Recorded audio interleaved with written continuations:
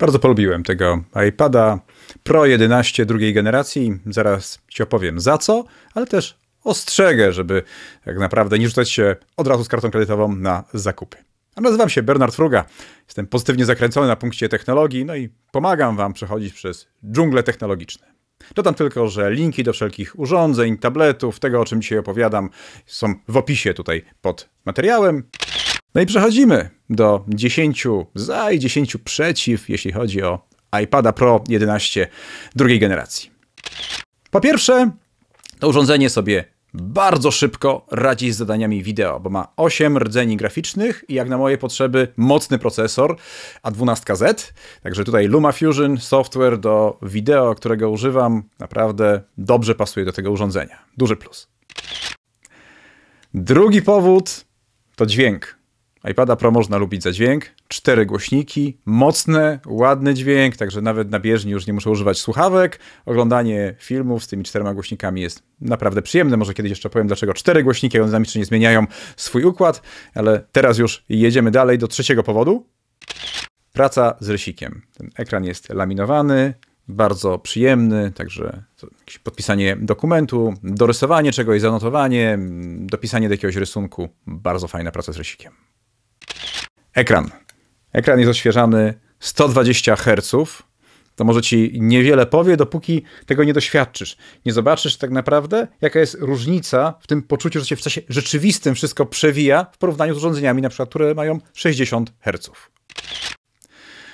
Kolejny miły gadżet to jest skaner LiDAR, czyli 3D. Możesz zrobić zdjęcie jakiegoś obiektu dookoła 3D, albo na przykład aplikacji Ikei możesz wziąć jakiś mebel i ustawić w swoim pokoju i zobaczyć, jak on będzie wyglądał. Bardzo fajny gadżet.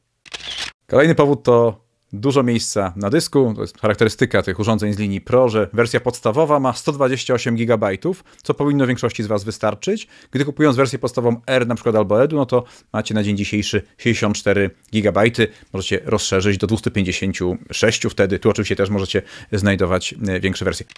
To urządzenie będzie dobrą alternatywą, jeżeli zamierzasz kupić takiego podstawowego iPada edukacyjnego. Bo w niektórych sytuacjach, jeżeli na co dzień będziesz używać iPada, czy będzie potrzebny do pracy, to dołożenie 1000 zł, tak, bo to urządzenie kosztuje mniej więcej 1000 zł y, więcej niż ten iPad podstawowy edukacyjny, dostaniesz USB zamiast Lightningu, jeśli chodzi o złącze, moim zdaniem dużo wygodniejsze. Lepsze mikrofony, lepsze głośniki, ten ekran odświeżany 120 Hz i, i dużo więcej. Także tutaj w niektórych sytuacjach, jeżeli się zastanawiałaś na tym, żeby kupić tego najnowszego iPada edukacyjnego, zastanów się, czy nie kupić tego iPada, też z Apple Store'a, ale jako odnowionego. Ósmy argument jest dla tych, którzy już prawie że kupili najnowszego iPada Pro, czyli tej trzeciej generacji z procesorem M1, to ja mówię, zastanów się. Zastanów się, czy nie chcesz zaoszczędzić tysiąca złotych i zamiast mieć tej super mocnego procesora M1, szybkiego złącza Thunderbolt 4 czy kamery centrum uwagi, mieć całą resztę. Poza tamtymi argumentami w zasadzie wszystko jest w tej poprzedniej generacji iPada, a kosztuje mniej więcej 1000 zł mniej. Dziewiąty argument kieruje do tych, którzy zastanawiają się nad iPadem R czwartej generacji. No to w tej chwili ten iPad Pro, też z roku 2020, kosztuje w Apple Store praktycznie tyle samo, co iPad R czwartej generacji. Czter, czwórki są sprzedawane jako nowe, Pro drugiej generacji jako odnowione, natomiast to jest nowa bateria, jest pełna gwarancja i tak dalej. I teraz moim zdaniem jedyną realną przewagą iPada R4 to jest szybszy procesor, bo tam jest A14, a tu jest A12Z. Natomiast poza tym wszystko inne jest lepsze w Pro, bo tu ekran 120 Hz, scanner LiDAR, Face ID, więcej RAMu, bo tu jest 6, tam jest 4, tu jest 8 rdzeni graficznych, tam są 4. Także tutaj argumentem za tym urządzeniem jest to, że warto po nie sięgnąć moim zdaniem zamiast po iPada R4 generacji.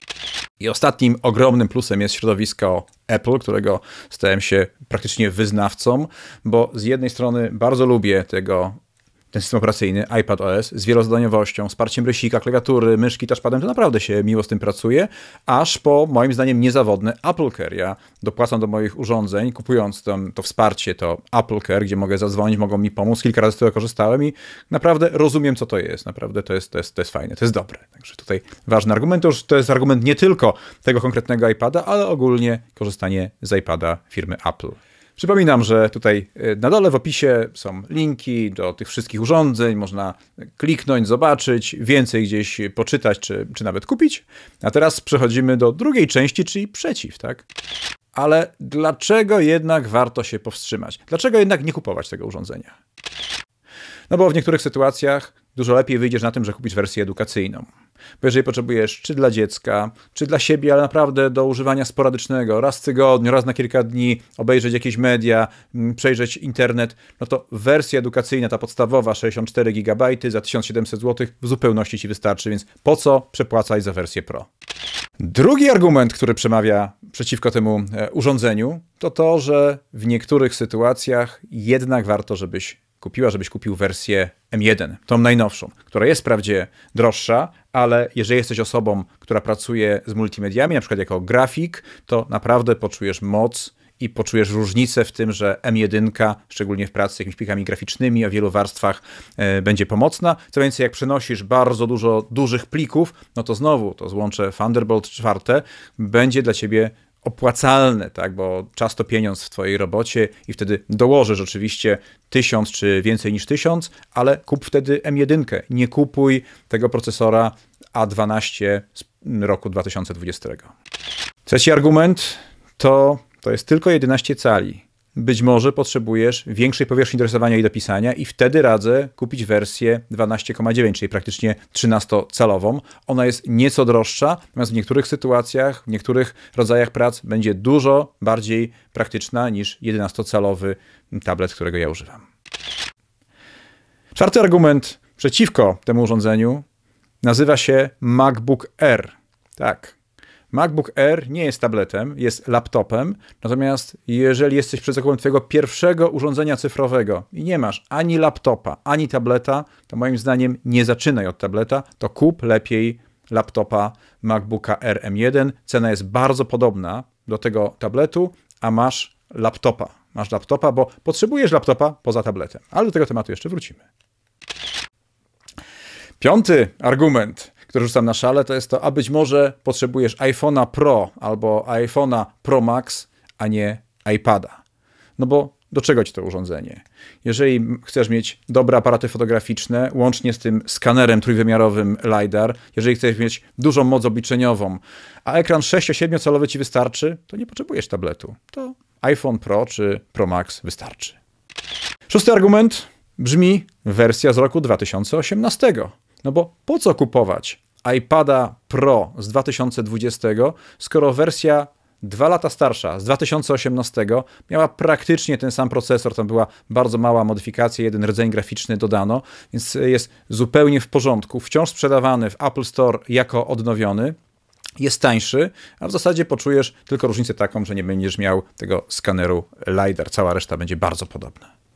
Skoro idziemy tym tropem, to siódmy argument, no to po co kupować odnowionego, który de facto jest nowym i kosztuje nieco taniej niż najnowszej generacji, ale wciąż kosztuje więcej niż urządzenia używane. Przecież jeżeli potrafię kupować używane urządzenia, potrafię dobrą okazję znaleźć, to czy jakiś polizingowy zamsto, czy z innego miejsca też jest opcją. Po co mam kupować iPada Pro drugiej generacji z Apple Store, skoro mogę kupić używanego i zaoszczędzić pieniądze?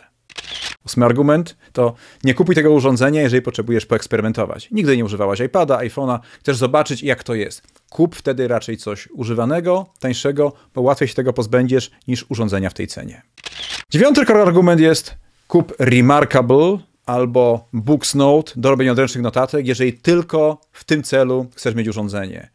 iPad jest świetny, jest wielofunkcyjny, natomiast nic nie zastąpi wrażenia odręcznego pisania na Remarkable albo na Books Note. Ostatni argument.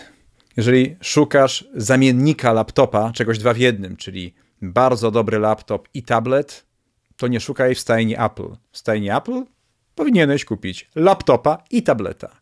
W Microsoftie, owszem, kupisz Surface'a, który jest świetnym laptopem i takim sobie tabletem. To tyle, moi drodzy. To te 10 argumentów. Mam nadzieję, że z jednej strony zrozumieliście, za co lubię to urządzenie, bo tak od serca te 10 powodów, ale też 10 argumentów, które miały schłodzić wasze głowy i radziły, żeby jednak może kupić inne urządzenie. Oczywiście do wszystkich tych urządzeń linki są tutaj na dole pod filmem, a tutaj obok jest inny film. Zachęcam cię do spojrzenia, może cię zainteresuje oraz oczywiście komentarze, uwagi, pytania tutaj na YouTube są zawsze mile widziane i pogodnie cię pozdrawiam.